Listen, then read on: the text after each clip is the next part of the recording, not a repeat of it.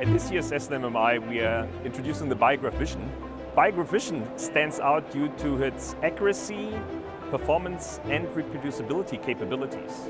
It uses 3.2 by 3.2 millimeter crystals and that allows for the better volumetric resolution and at the same time reduces partial volume effects. The 214 picoseconds uh, time of flight resolution or time of flight performance are really something that helps clinicians to reduce scan times or to reduce those at the same time. So really increasing the throughput that clinicians can scan with the Biograph Vision. Well, I'm particularly excited about the anatomical detail that you get with vision images. We're seeing a degree of anatomy that we haven't seen before.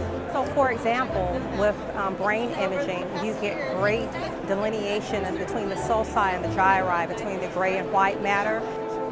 But for whole body imaging, we're seeing detail in the aortic wall, the ace in the aorta, delineation of the vertebral bodies, even papillary muscles within the heart chambers.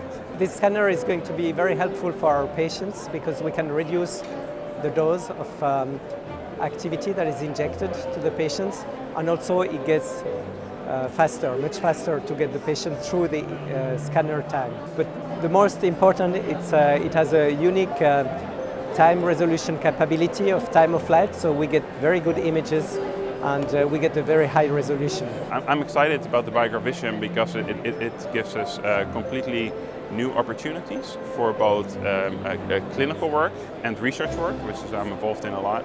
Uh, one of the things for the clinical side, which is very uh, new and special, is that this scanner makes quantitative imaging uh, push button. so um, before we just look qualitatively at the images, so we say it's more or less uptake, and now we can actually, uh, there's a, a, method in here where we can actually quantify that very accurately.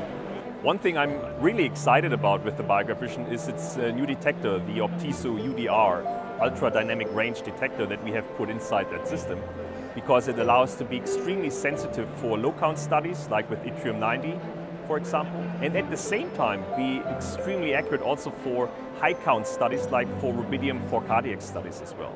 So really covering the whole range of low counts and high counts with one detector. I'm very impressed with Siemens, how they've developed this product. I think it's a very courageous design. They really went for a detector for detecting the radioactive signal, um, which is very revolutionary. It, it, it measures a, a, lot of the signal. Um, it can do it in a, a very fast way and it can actually has the potential to really transform the way how we do PET imaging. The future of nuclear medicine is going to be quantitative and therefore being a major contributor to precision medicine. And that will allow to offer the right treatment for the right patient at the right time.